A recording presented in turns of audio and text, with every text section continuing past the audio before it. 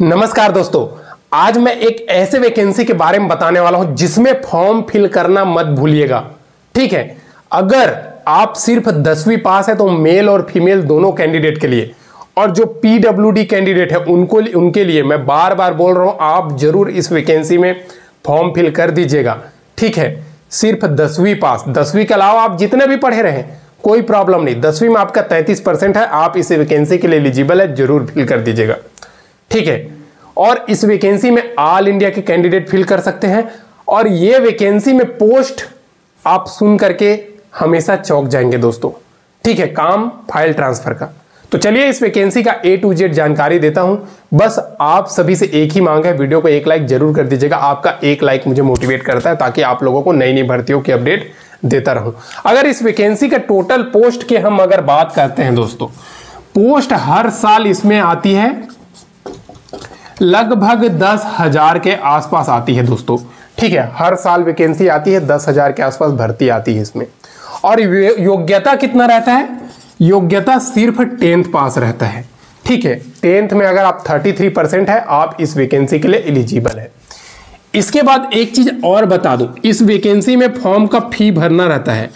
ठीक है तो फ़ी बहुत ज़्यादा नहीं रहता। अगर आप यूआर कैंडिडेट हैं ओबीसी कैंडिडेट है या फिर ईडब्ल्यू कैंडिडेट है, ठीक है भाई?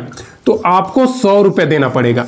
बाकी एससी हो गया, एसटी हो गया, पीएच कैंडिडेट हो गया, ये सब का ज़ीरो ज़ीरो रुपया फ़ी है दोस्तों। ठीक है, ये बात आप सभी जान लीजिए। और एक चीज़ और मैं बता दूँ, फ़ी के अलावा अगर आप एज क्राइटेरिया के बारे में बात करते हैं तो एज आपका मिनिमम 18 साल और मैक्सिमम कुछ पोस्ट में 25 साल है 18 से, और कुछ पोस्ट में 27 साल है दोस्तों।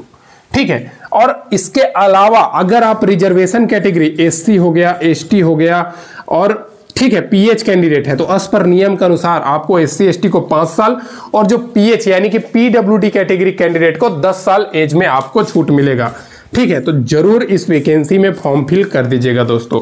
ठीक है, और देखिए, ये जो वैकेंसी है ना, वो एमटीएस की पोस्ट की भर्ती है मल्टीटास्किंग स्टाफ अब ये मत सोचिएगा कि एमटीएस का पोस्ट को झाड़ू लगाना पड़ता है, ये लगाना पड़ता है, वो लगाना पड़ता है, कुछ नहीं लगाना पड़ता।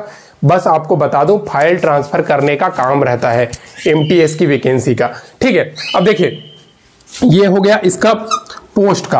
अब देखिए, इसमें बता दूँ ऑल इंडिया ठीक है ऑल इंडिया के कैंडिडेट भर सकते हैं फॉर्म मेल हो या फिर फीमेल हो भैया। ठीक है सिलेक्शन प्रोसेस पहले हार्ड था, अभी बहुत आसान हो गया है। मैं ऐसा क्यों बोल रहा हूँ? क्योंकि सिलेक्शन प्रोसेस सिलेबस भी बताऊँगा। सिलेबस जो हार्ड हो गई थी, वो अभी आसान हो गई है। अगर सिलेबस के बारे में बात करूँ तो देखिए पहले इसमें सिलेक्शन प्रोसेस ही बता देता हूँ रिटर्न एग्ज़ाम है, ठीक है?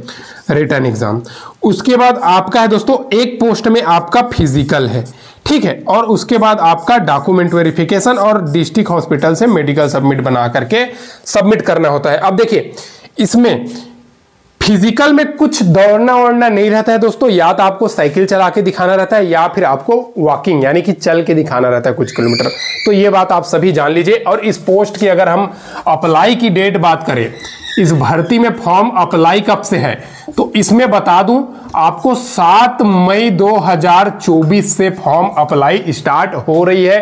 तो आप सभी ज़रूर फॉर्म फिल कर दीजिएगा। जितने भी कैंडिडेट अभी के टाइम पे मुझे देख रहे हैं, उन सभी को मैं बोलना चाहता हूँ। सैलरी की अगर हम बात करते हैं तो इन हैंड लगभग अभी के टाइम पे जो डीए है, उसके हिसाब से फोर्टी थाउज़ेंड प्लस आपको सैलरी इन हैंड ज्वाइन करते ही देखने को मिलने वाली है। ठीक है।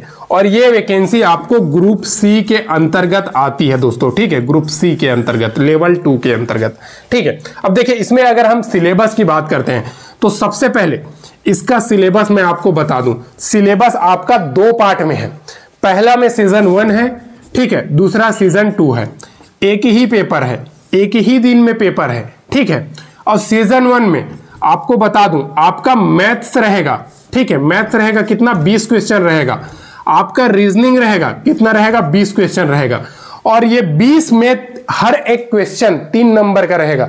यानी कि टोटल 40 और 40 दिया 120 ठीक है 120 नंबर का रहेगा। इसमें अगर आप पास होते हैं, तभी आप सेकेंड क्वेश्चन सेकेंड एग्ज़ाम के लिए क्वालिफाई कर पाएँगे। फ़र्स्ट में आप क्लियर करते हैं, तभी आपका सेकेंड पेपर चेक होगा। एक ही दिन कंडक्ट होने वाला है। ठीक है? 45 मिनट का आपको टाइम मिलेगा। और अगर पासिंग मार्क्स की बात करते हैं तो यूआर कैटेगरी के लिए 30 परसेंट अंक लाना ज़रूरी है। ठीक है? और अगर आप ओबीसी और ईडब्ल्यू e है, ठीक है? ईडब्ल्यू e है तो आपको 26 परसेंट और एससी है एसटी है पीएच कैंडिडेट है। तो आपको भैया 20 परसेंट अंक लाना बहुत ज़रूरी है। ठीक है?